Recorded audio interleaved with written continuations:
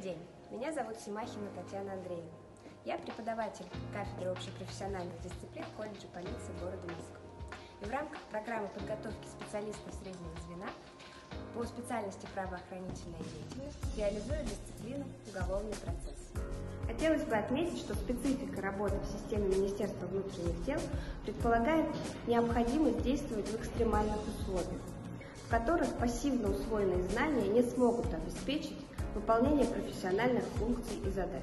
Поэтому главной задачей своей педагогической деятельности я вижу приобретение обучающихся основ профессиональных умений и навыков достаточно для того, чтобы по завершении обучения они смогли немедленно приступить к исполнению служебных обязанностей.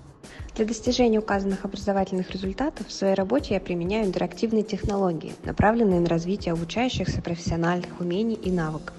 Чаще всего в процессе преподавания я использую такие интерактивные методики, как кейс-метод, деловая игра, составление процессуальных документов в малых группах.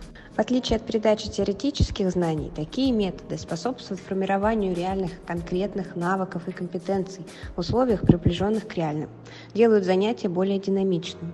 Каждому участнику представляется возможность попробовать свои силы в предложенной ситуации, ощутить последствия тех или иных действий и решений.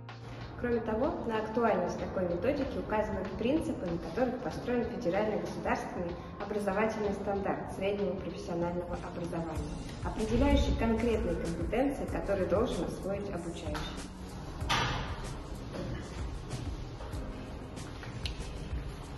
Конечно, использование интерактивных методик – трудоемкая технология, но, как показывает практика, она же является наиболее эффективной, поскольку повышает интерес и мотивацию обучающихся способствует более глубокому усвоению материала, поощряет активное участие в учебном процессе, позволяет перенести ранее усвоенные знания и умения в новую ситуацию, формирует профессиональные навыки, а также общие и профессиональные компетенции обучающих. Высокая эффективность применяемых мной интерактивных методик подтверждается результатами текущего контроля, промежуточной аттестации, государственной итоговой аттестации.